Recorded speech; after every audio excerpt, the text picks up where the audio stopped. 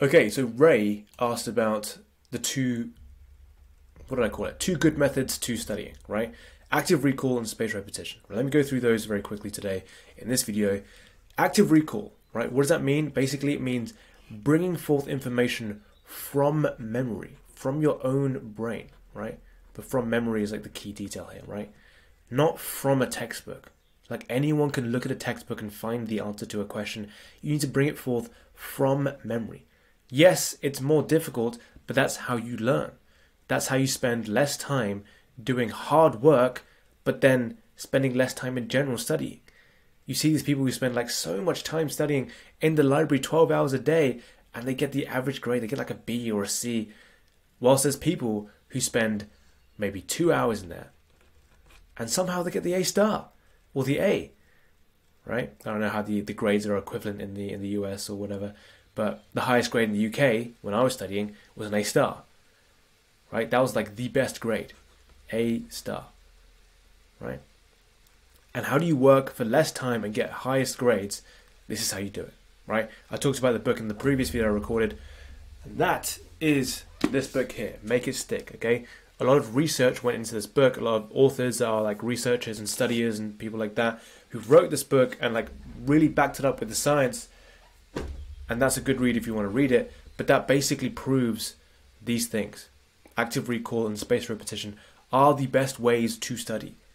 Right? There's so in the previous video I talked about if you just want a summary of that. Oh, how do I? Yeah. Okay.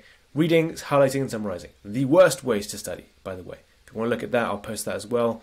I'm thinking about posting this as a separate post, as like a, a study post or something for people who want to look through all of these in like a playlist or something. I'm not sure how to do that, but maybe I'll just post it separately as a, a separate post. That would be good. Okay, so active recall from memory. How do you do that? The best ways I like to do are flashcards. So let me write this down.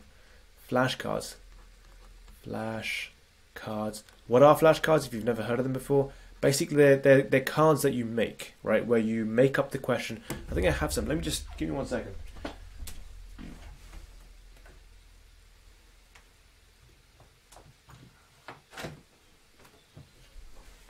So they're like this kind of like card material, right? They're like smaller pieces of paper. You can get some that are even smaller than this. Oh, actually, I have one here. Right, okay, look. I've got some text written on here, doesn't really matter. But this stuff, you can like put a question on one side and the answer on the other side and test your memory, right? Show yourself one side with the question and see if you can remember it by writing down the answer. And I like to write it down. I don't like to say it out loud because if you say it out loud, then you can like trick yourself into thinking, oh yeah, I, I knew that by the way. I knew that, right? And then put it in the correct pile, right? This is how you do it, by the way. You go through your flashcards. Let me just move this around a little bit. And you have a pile of them. And then you answer them. You say if they're correct or if they're incorrect, right? Incorrect.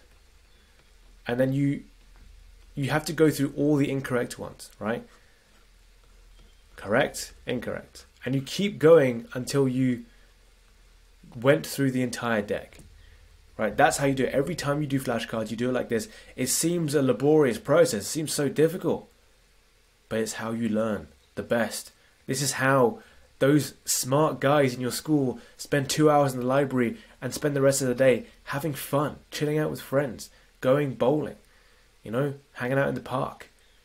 This is how they do it, right? So that's flashcards. The second method is past papers, which I prefer to be honest with you. Most past papers will go through, if you go through like 10 years worth of past papers, you'll go through all the topics.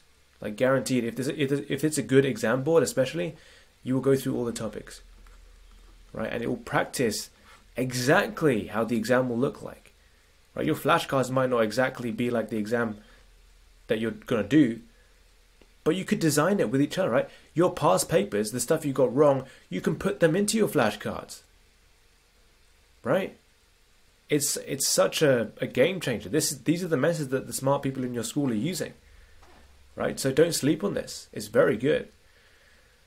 So, flashcards, past papers, those are probably the two things I, I would mention But when it comes to active recall. Spaced repetition, right?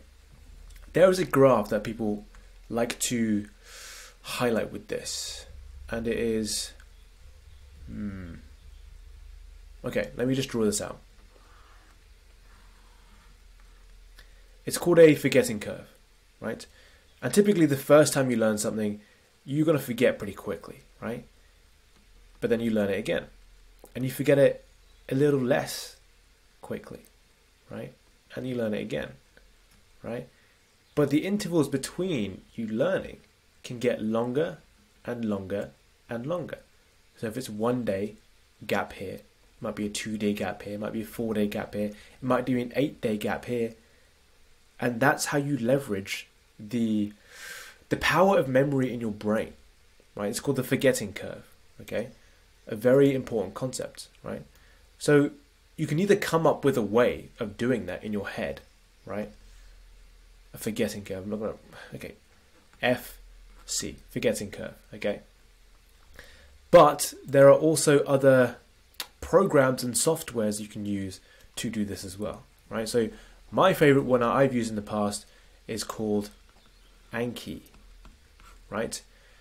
Um, it's a free software to download on your computer, Windows, Mac, I, I believe, and it's also free on Android. But for some reason on Apple, it's not free. It's like ridiculous, it's like 20 quid, right? But even that price, I'd say it's worth it because it's very this this software is very powerful. It's so good. It does all the forgetting curve stuff for you. And trust me, I I tried to do it in my head like before I used Anki and it's it's tough to do. Like to mark all the dates on every single card, it's hard. Anki does it all for you. If you don't want to use Anki, there's stuff online like Quizlet. Oh, there's another one as well, like Memrise, I think. Memrise. That's how you spell it. So look these up if you want these. They're they're kind of like easier to use. They're like like if Anki is like the Android version of it, Quizlet and Memrise are like the Apple version of it. They look nicer and they're like easier to use, but Anki's more powerful. So up to you whichever whichever one you want to use, right?